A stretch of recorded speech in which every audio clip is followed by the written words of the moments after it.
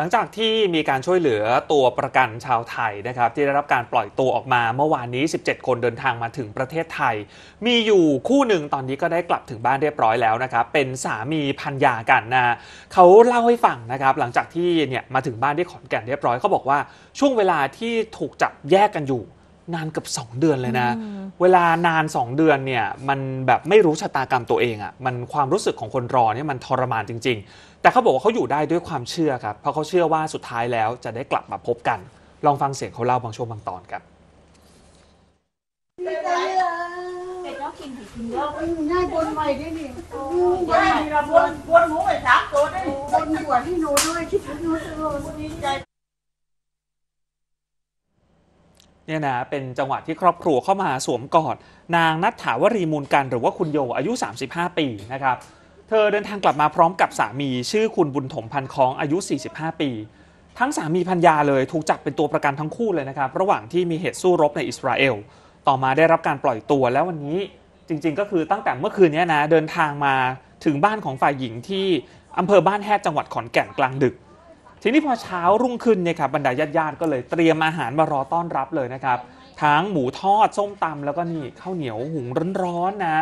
ไม่มีอาหารอะไรอร่อยเท่ากับอาหารบ้านตัวเองแล้วล่ะ คุณแม่ของคุณโยเนี่ยเล่าให้ผู้สื่อข่าวฟังว่าแม่ไปบนไว้ตั้งแปดที่เลยนะ ขอให้ลูกสาวเนี่ยปลอดภัย แล้วบอกไว้ด้วยเดี๋ยวพอลูกสาวกลับมาแล้วเนี่ยจะให้คุณโยเนี่ยนุ่งขาวห่มขาวถือศีลหนึ่งเดือนด้วย ซึ่งเจ้าตัวบอกยินดีปฏิบัติตามครับ ก่อนที่สองสามีพัญญาเนี่ยครับก็จะมานั่งเปิดใจกับสื่อมวลชนนะครับ แต่ว่าเขาออกตัวก่อนว่าไม่สะดวกจะเล่าเหตุการณ์ทั้งหมดนะ โดยเฉพาะช่วงที่ถูกจับแยกออกจากกันนานเกือบ 2 เดือนเนี่ยไม่มีใครรู้เลยว่าจะได้รับการปล่อยตัวหรือเปล่า จะได้รับเมื่อไหร่ สิ่งเดียวที่ช่วยได้ก็คือสวดมนต์นะพยายามสวดมนต์นั่งสมาธิด้วยความหวังว่าจะปลอดภัย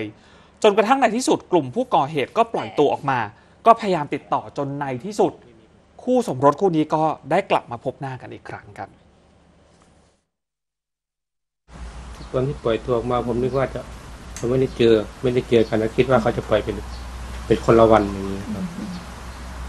เรามาเจอก็ดีใจอืมแต่ว่าได้รับแจ้งอยู่ว่าเอ้ยวันนี้จะมีการปล่อยตัว ไม่ไม่ไม่ไม่ไม่รู้ครับเอาแล้วเรารู้ได้ไงว่าเราจะได้ออกกันนะครับไม่มีใครรู้หรอกค่ะ ไม่มีใครรู้อยู่ดีๆเขาก็ไม่เรียกเอามัน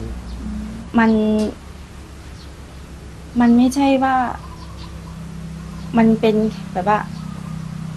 ในใจก็คิดว่าต้องได้เจอแล้วนะ แต่ความเป็นจริงก็ ไม่รู้ว่าจะเกิดอะไรขึ้นเนาะวันนั้น แต่ภาวนาในใจบอกว่าขอให้ได้เจอ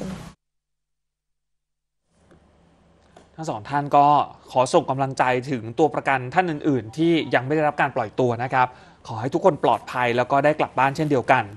ส่วนเรื่องที่ว่า จะยังอยากกลับไปทำงานต่างประเทศอีกไหมเนี่ยนะ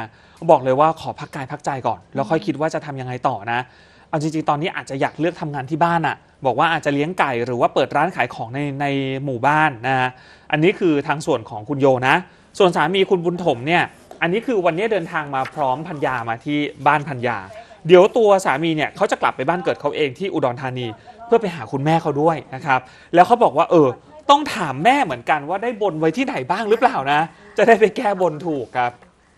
อ๋อ เพราะว่ามาตามหา